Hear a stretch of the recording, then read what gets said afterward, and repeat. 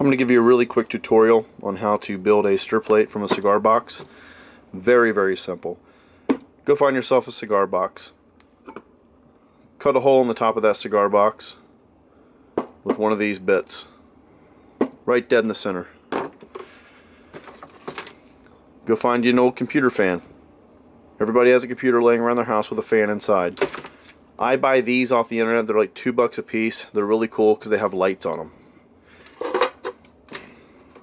You can also buy a light kind of like this from Radio Shack that it's more to tell you that it's if it's off or on. Real simple. You're going to go buy a toggle switch. You're going to go to Radio Shack and you're going to buy a rheostat. A rheostat looks just like this. It's a knob, just like a radio knob from the old stereos that we had. You're going to use an AC adapter. I prefer the universals because I can adjust the voltage on them. You can also use a cell phone uh, charger plug and you want to take that and splice it. You're going to splice it to a power and a ground and you're going to run it through the back of your cigar box. Your power is going to run in to your toggle switch on one side. There should be two prongs in your toggle switch. Run the power directly from your AC, AC plug to the toggle switch. Run another wire to the center prong of your rheostat. Your rheostat will have three different prongs on it. Run it to the center.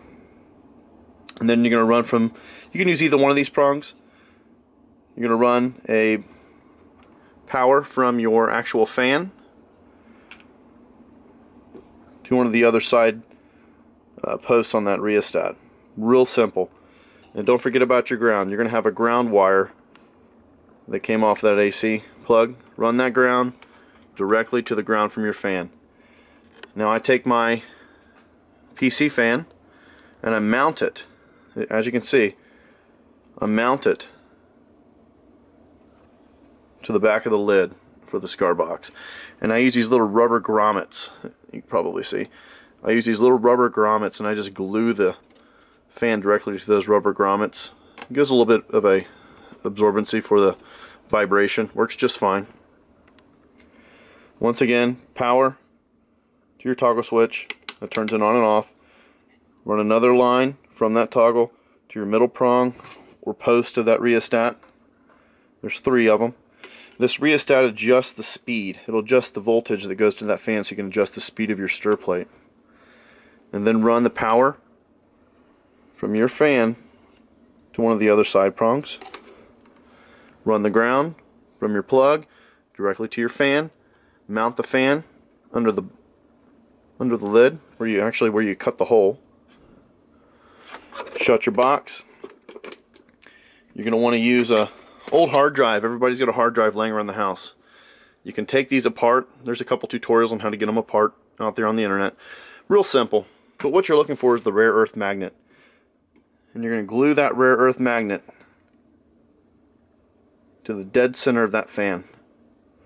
You want it to be dead center because you want the balance when this fan starts spinning. And what that rare earth magnet does is it grabs that stir bar and it just spins it inside of your Erlenmeyer flask. These are easy to get out of the hard drive. You just have to make sure that you're uh, not being too aggressive with it, or, or, or, they can break. I've broke a couple of them. Grab your Erlenmeyer flask. If you watch how this grabs, I've got the stir bar in there, and it grabs. Real, real simple. Now you've actually got your your stir plate built. You're to plug it in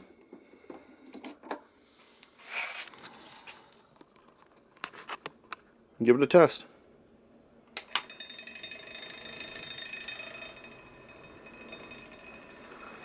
There you go. You can see the lights I've got in here.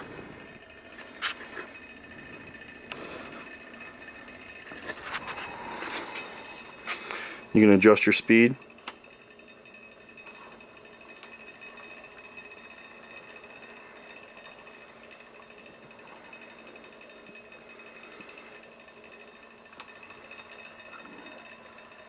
and you get a nice solid vortex that'll it'll eventually get a lot larger.